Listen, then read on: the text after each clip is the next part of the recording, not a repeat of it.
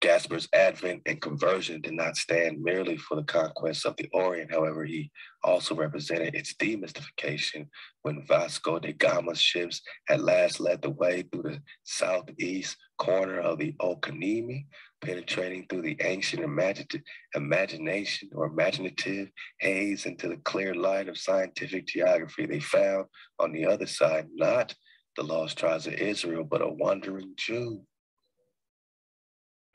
apparently of European and perhaps Iberian origin at that, Gaspar's return on board was like the black captives coming back from Guinea voyages, a symbol of reducing and taking in hand of the awesome South and East. Man, okay. talking about black captives and Gaspar, back to the Moor flow.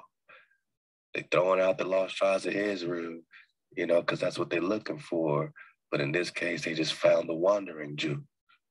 The most dramatic of such demystifications, however, took place a few years later in 1520 when a Portuguese diplomatic mission arrived in Ethiopia.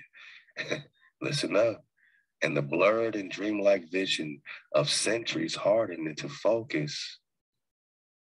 What the guest found was not the jewel studded rim of Prester John of legend, but the thatched roof and hewn rock of the kingdom of Lebna Dengal. So they went to that Ethiopia looking for Presta, and instead they find the kingdom of Lebna Dengal.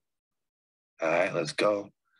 The mission's priest and chronicler Francisco Alvarez was no doubt thinking of the fabulous processions of the former when he described the kingdom of those made by the real life monarch. The monarch who he and the Portuguese continue to refer to as Prester John in spite of everything. So he's trying to tell them, I'm not that Prester you're looking for. They're like, yeah, you are.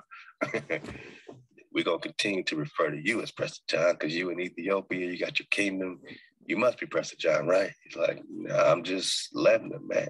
it is unbelievable how many people always travel with the court for certainty certainly for a distance of three or four leagues from each place of which they break camp, the people are so numerous and so close that they look like a procession of Corpus Domini in a great city.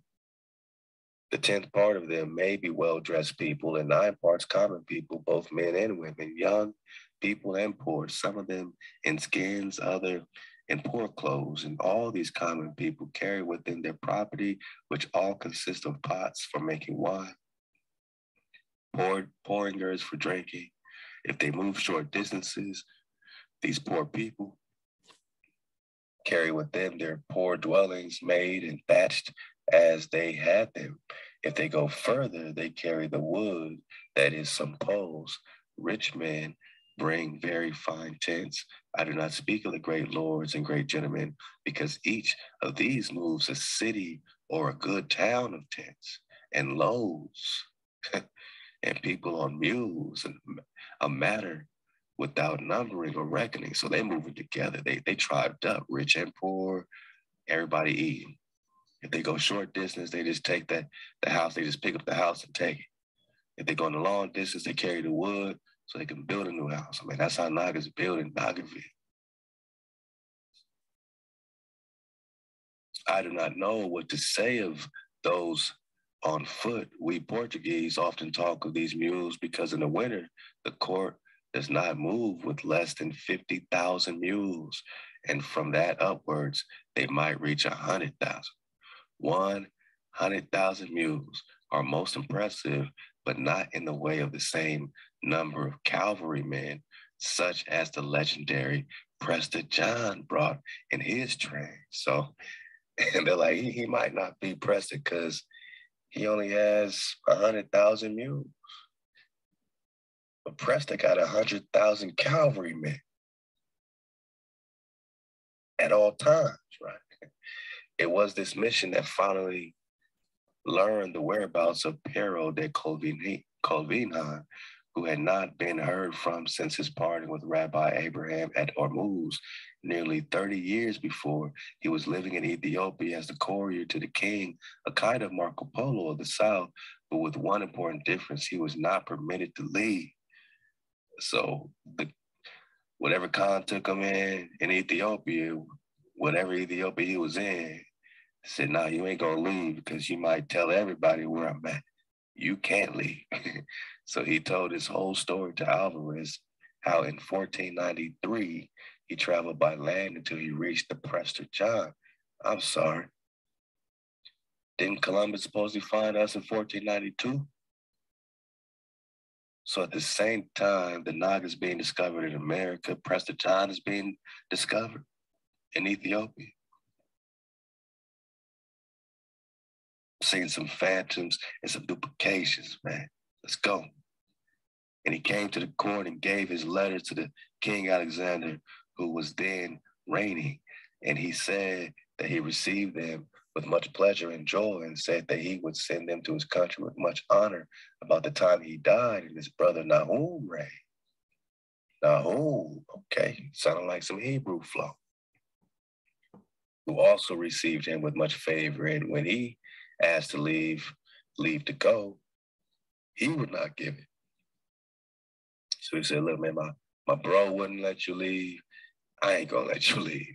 and Nahum died, and his son David Lebna Dengal reigned. So now Lebna Dengal comes to the picture, son of Nahum, also called David, who now reigns, and he says he also asked him for leave, and he would not give it, saying that he had not come in his time, and his predecessors had given him lands and lordships to rule and enjoy, and that leave he would not would not give him, and so he remained. Alvarez adds his own observation, saying that Colvin Colvinhan was given a wife with very great riches and possessions. He had son, he had sons by her, and we saw them in our time. When he saw that we wanted to leave, a passion, a passionate desire to return to his country came upon him, he went to ask the leave of the prester, and we went with him, and we urged it with great insistence and begged it of him, yet no order for it was ever given. So he's like, look, I can't let you leave because you might snitch on us and everybody gonna come looking for us. But I'm gonna give you land, I'm gonna give you riches, I'm gonna give you a wife. you got everything, man. All right but you can't leave. you can't leave. So he too was a living symbol of demystification of the East, ending like the legend of Prester John in the Abyssinian desert.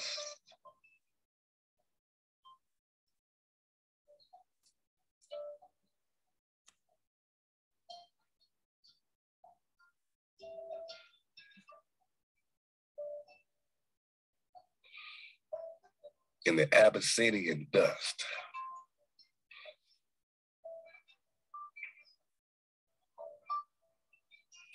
Why did the legend of Prester John end in the Abyssinian dust?